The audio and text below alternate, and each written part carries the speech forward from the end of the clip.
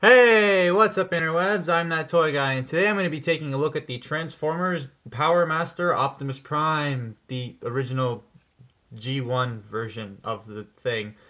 And I will preference this right now by saying this is the American, the not the American, the North American version, not the Japanese version because it has the different smokestacks and there's no diecast. And the fists on the trailer are different, but here's the truck. I thought we'd start with the truck because the, having the truck in the trailer would be very, very hard to do right now. So I'll just start with the truck. And I don't have the box. So say hello and say goodbye. Well, I didn't make a noise. Let's try that again. Let's, let's stand him up here. And be gone. There you go. Now I made a noise. So here is the truck and it's a lot different from than the uh, G1 truck. I don't have the G1 truck. That G2 truck I had a while back, I sold it. But he does look a lot like the original, just only with one wheel on the back instead of two. And he's a little bit bigger, but other than that, that's really it for differences. All the details and stuff are the same. You got the grill in the front. I wish these were painted red, but they're not. Oh well. These are all stickers. Most of the detail you see on here that's colored is a sticker. So like this is sticker, these are stickers, these are stickers, those are stickers, stickers, sticker, like a lot of stickers on this guy. But yeah, he is a truck and I mean, that's really it. I mean, there's some molded detail, but not a lot. And not even the smokestacks get any, which is kind of disappointing. But then again, it's the North American version. In North America, we don't get the best made toys because North American people are cheap and don't like they're taking pride in what they do. Anyways, here is next to, well, I don't have the Titans Return Power Master Prime because I already have Ultra Magnus and I'm not going to buy Power Master Prime. So here he is next to the Ultra Magnus truck cab. It's the same thing as Power Master Primes, just looks different. And as you can see, he's quite a bit bigger than the new version of himself. Just show you there. I'll hold it. He's a, like an entire, like these are his feet. He's basically his feet longer than this truck right here. So yeah, he does come with a lot of accessories. He comes with one of these, one of these, one of these, another one of these, one of these, and one of these. So what can you do with all this stuff? Well, you can put it on him. So Let's do that, starting with, get out of here. Starting with trailer, there's a little port on the back, and there's this peg. Now be careful with this peg, because I bought this guy at uh, TFCon for 50 bucks, and some guy tried selling me one for 70 bucks, where this peg was snapped off. And every other version I saw there at the convention had that peg snapped off. So be very careful with yours. I am being very careful with mine. So be very ginger with it, if that makes sense. But these guns, there's a peg at the bottom and there's two ports on top. You just plug them in so he can shoot himself. Because as you can see, they don't, there's a hand in the way. That's what I was saying, the Japanese version, the hands go down into the wrists. These ones don't. But you have these guns with peg and port, and it's the same on the other side. So you just plug that in so you can find it. There it is. I like to tilt them up a little just because, why not? And there you have Power Master Prime all trailered up. And he looks quite cool. I really do like this. He's big, he's beefy and chunky and weighty because there's a lot of plastic on this guy. But overall, it looks a lot like the G1, uh, like the original G1 Optimus Prime truck. I think the striping is backwards though. Like I think the stripes in the G1 version went the other way. But, eh, oh well, this is a new version of Prime. And I think this trailer is the same length as the original one. Again, I don't have the original one because I'm not made out of money. I do not have enough money to afford that thing. Love to, but I mean I can't. So, but just quickly get this out of the way, here he is with Ultra Magnus. As you can see, he's an entire cab length longer than Ultra Magnus.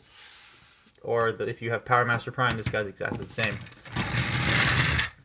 So, get and take a look at the detail on this truck here, the trailer. You got some nice molded in like electronic techno garbage they have detailed on the side that they used to do in the 80s. You got the, this is all sticker, by the way. These are all stickers. I need to get some more because these ones are kind of coming off. You got the back of the truck here. That's a sticker. You got two suspicious gaps back there, but oh well. It's also sticker. You got on top, nothing really, just just textured a bit. The guns though are detailed, molded. Ah, I can't speak English. They look really nice. They don't look like his G1 gun, but I don't really care because this is a new version of Optimus Prime. I know that does bug some people though, that the guns do not look like the G1 versions. But here are these little seat things and these are pretty cool. I think these kind of look remind me of like little tiny spaceships. And I'll show off what I mean by that in a minute uh, when I get to his base mode. So, yeah. And I forgot there's two accessories that kind of don't do much in this mode. So you have these two. I dropped one. Can't pick up one. There you go. You have these two. You have the head and HiQ. So what I do with the head, because there's really nowhere to store it other than doing that officially. So what I do is I open the back, because you can't open the back of this, this guy's truck. I toss it in there. There you go. HiQ just kind of stands there.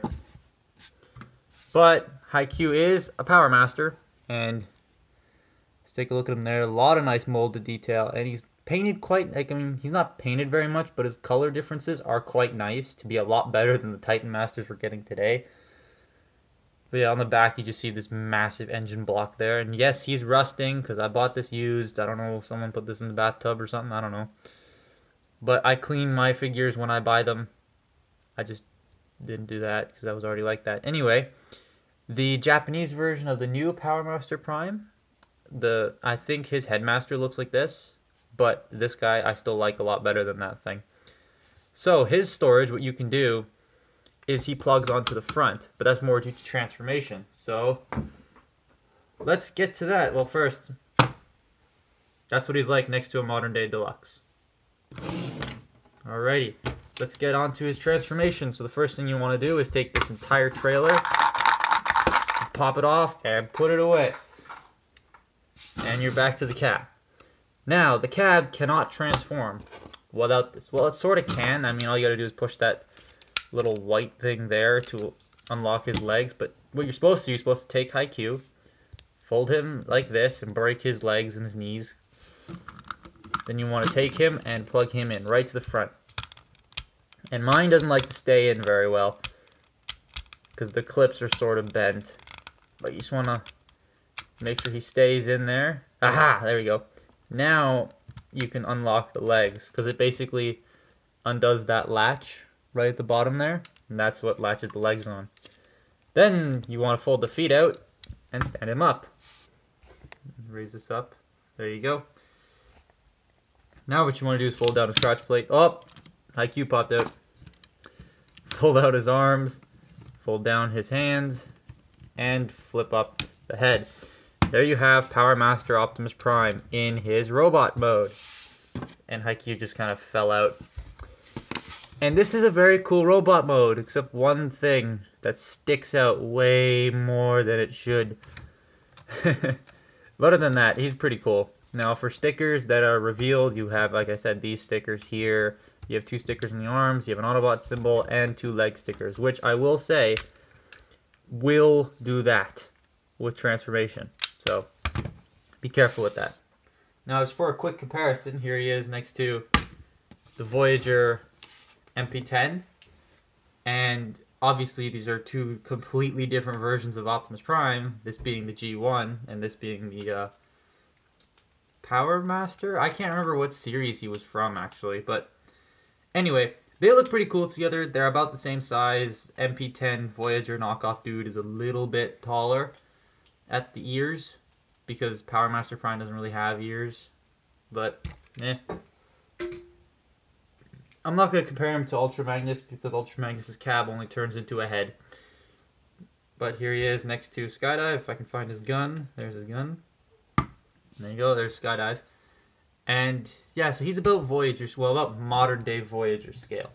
Because the modern day Voyagers are a little, a little smaller. So, for weapons, he can hold all four of them, but he's really only meant to hold these.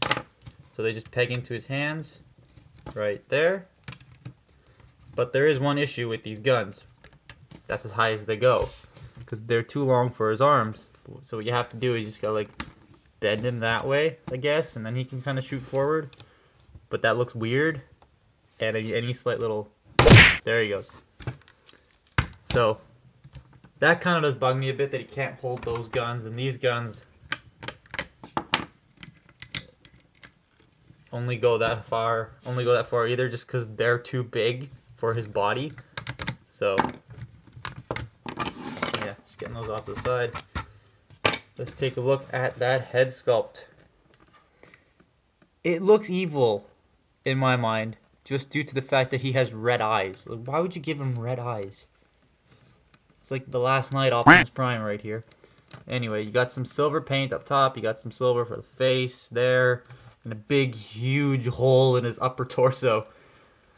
That's not nice. Um, you have a nice molded in grill there, done in silver. You got his crotch plate, all done in white. His legs are done in blue. These are sticker details. And his feet have no detail to them whatsoever. So yeah, that's him. Very simple, very basic. But he's Optimus Prime, so everyone loves him. Anyway, putting him off to the side for now. This thing does something. It has a base mode. So, we'll get to that base mode. So the first thing you want to do is you want to go up here and lift this slightly. And you want to take this section, fold that back, take this section, fold that back. And there you have some more stickers, which I'll get to in a second. Then what you want to do is you want to take the legs and you want to split them. Just split them. Oh, you want to remove that too. Split them. And they'll ratchet out to the sides very stiff. And the next thing you want to do is you want to come back here and take these and fold them out. And then you want to take the arms, fold them down, and flip them up. And then flip this up as sort of like a control stick. And fold this section down. Then take these, fold them out. And then you want to take these cannons here, and there's ports right there. Just want to plug them in, just like so. And I like to take these guns and plug them into the side. And there you have him in his, well, there you have it in its base mode. And it's very large. It is a very large base mode. Like, here's Skydive on the base. I really do like this base mode. I like it quite a bit. I like it a lot better than the new one which I'll try and replicate on Ultra Magnus in a second. We can take priming, just stand him in there at the control stick. And he can man the station and be like, Autobots, roll out, don't kill anyone. And these guns here, if you notice, have two little tabs right there. And he has a thing in a spot where he shouldn't have a thing, but that has a purpose. You peg that wrong thing into there, and then you fold his legs down. And now he is sitting very securely on the cannon. And that's why I think this looks like a spaceship, because you can just fly it around.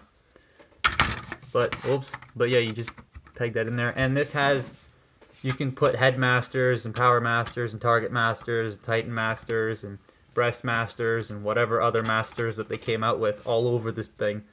Because that's really what this base is meant for. Scale-wise, it's meant for those and the mini-bots. I don't have any mini-bots or any Legends figures on hand right now, so I can't show that off, but...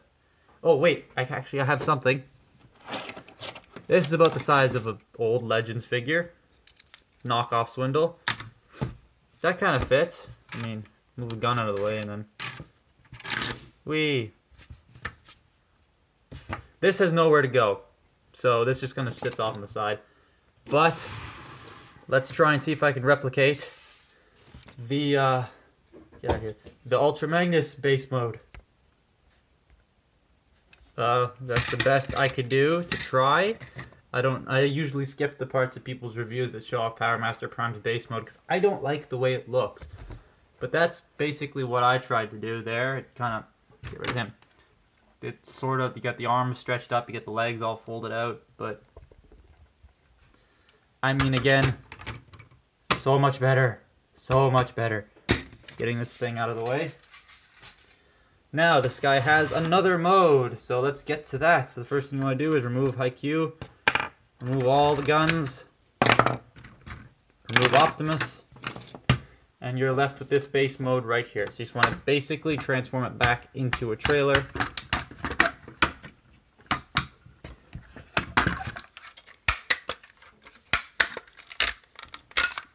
Ah, and flip it around. And look, you got legs already done for you. So the next thing you want to do is you want to take the arms and fold them back down. And then you want to take this little stick here and fold it all the way back and around. There you have the trailer in its armor configuration. Oh, wait, no, not done yet. Hang on. These two guns plug into the shoulders in the pegs that were there. And these things plug into the pegs, the ports, sorry, on the fist. Just like so. If you had the Japanese version, you'd slide the fists up where you did that. And you want to take Prime here and basically turn him back into a truck.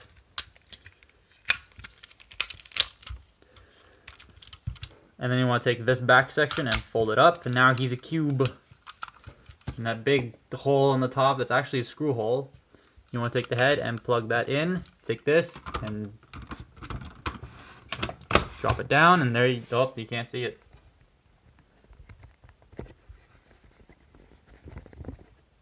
And there you have Power Master Optimus Prime in his robot mode. And this thing is huge. Like it is it is really big. I'll let me get Ultra Magnus over here and I'll show you. So as you can see, he just like that's Magnus slash Power Master Prime slash whichever version you have. The uh the um the Takara version of Power Master Prime I think is the same height, but the uh, Hasbro version because the Hasbro version is the same height as this it's a lot shorter than this guy. And here's Skydive, just for a little comparison there. He's really big. And, well, I mean, he's not like combiner big, but he's still, oh, that noise was awful. He's still quite big. And yes, Q would still plug into his chest if mine would stay. The issue is, you see those hooks right, oh, you see those hooks right there? Those are what latch on to those little holes in the legs there when you fold them up. And I think it's this one that's slightly bent in due to it just being plastic. And this, when I bought it, he was in this configuration with this guy in his chest. And the guy selling it said he hadn't removed him from his chest in a while, so his um, clips have sort of molded into being that far, a little bit too far apart. And that's what's causing him to have a hard time to stay in is because those clips just don't meet where they used to. But, I mean, I can easily fix that with a hair dryer, but I have to take the whole torso apart, and I don't want to do that. So I'm not going to do that. But, yeah, overall, this guy is just a brick. I mean, I mean a brick. If I had a brick here, I would compare it to a brick, but I don't have a brick. Um, but yeah, this thing is just, it is huge. Really, really, really big. But I really like it. This was one of my holy grails. I got this two years ago at one of the at uh, the TFCon 2015. Either it's 2015 or 2014. I got it. I don't quite remember off the top of my head. But for new sticker details that you see, you have stickers on the feet and on the knees, and you have these stickers here, and Autobot symbols. You have those those stickers right there. And that's really it. Now, he has a the articulation equivalent to a Megazord, and by that I mean all he does is that. You have to be careful too, because if you keep doing this, I mean, it takes a while, but these guns do eventually fall off. They're not the most secure connection in the world, but oh well. Yeah, he's really cool. I really do like this thing a lot. I mean, you can technically count that as articulation, his legs go out, but there's nothing useful you can do with that. Now, I'm not sure if the God Bomber can fit on the American, the a North American version. I gotta stop saying American version. I don't know if it can fit on the North American version, but it does look cool on the Japanese version. So, if you were to go in on a Power Master Prime, I'd say get Gajinrai versus Power Master Prime because the Takara version is so much better than this. It's got chrome, it's got like better done front end. This is die cast. The hands are done better. The paint is done better. The sticker quality is better.